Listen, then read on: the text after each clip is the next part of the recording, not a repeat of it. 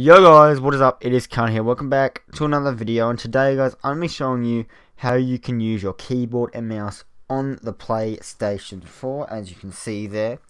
And pretty much that's all we're going to be doing today. So let's get right into it. Now if you don't already know, you can use your keyboard and mouse on the PlayStation 4 wireless or wired. I'm going to be using wireless today. And it'll give you a big advantage over other players you know, if you're good with keyboard and mouse. As we all know, if you use a keyboard and mouse, you're better than a person playing on controller. Now, the majority of the other people in your online game will be using a controller. So today we're going to be testing out with Fortnite Battle Royale. So, what I'm going to do is I'm going to go down here.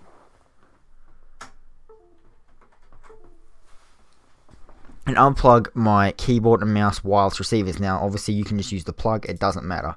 So, what we're going to do is, is we're going to... This is the keyboard one, by the way. The one that says Logitech. And the one that has nothing on it is a mouse. So, what we're going to do is we're going to go down here and we're going to plug in my keyboard. And you can see the little keyboard popped up between my on my name there. And plug in my mouse. And the mouse should pop up. Now, mouse connected to using this, I think. No, we can't use the mouse yet. So we're going to use the controller. Or, no, we might be able to use the keyboard even. So as you can see, the keyboard is working. So that's all well and good. You press enter to select what you're doing. So now we can use the keyboard to navigate around the PlayStation if you find that easier then you can use a keyboard permanently but that's not what we're here to prove. The mouse still doesn't really do anything because it's got nothing to do. So we're going to select Fortnite, I'm going to press enter, we might as well use the keyboard from now on. Now from here on, I'm pretty sure you don't need your controller, so what I'm going to do is I'm going to go and turn off my DualShock 4 controller, I don't need it. Now just for to show you guys proof, these are the only two PlayStation controllers I own, I swear I don't have any others. Like there's no one like behind me or anything around my room, you know, using a controller while I use the keyboard and mouse. I swear I'm not I'm not faking this. So I'm gonna move these over a bit, move everything else over a little bit.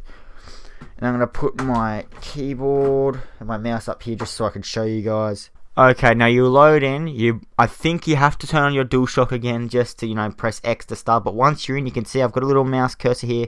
This is PS4. I'll press the Okay. The Windows button doesn't work to go home. I thought it might. So I'll put my controller here just so I can navigate a bit better. To go home, I think you still have to press this. We are still using keyboard and mouse. I swear on everything I love. We still have the little cursor here if you can see that. We'll click on Battle Royale because that's, you know, all anyone has in Fortnite.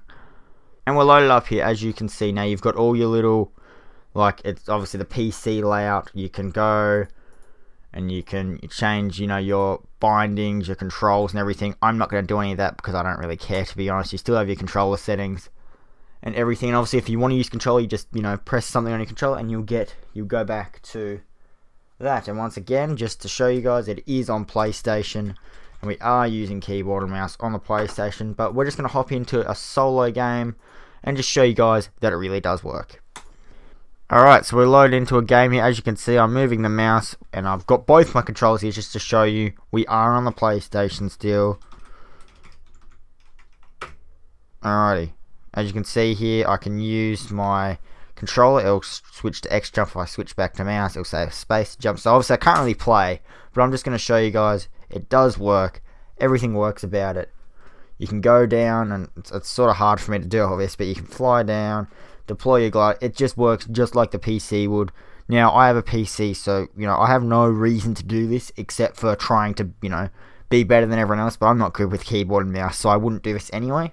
Uh, once again, the reason why you do this is because you get an advantage, because most people in the lobby will not be using keyboard and mouse.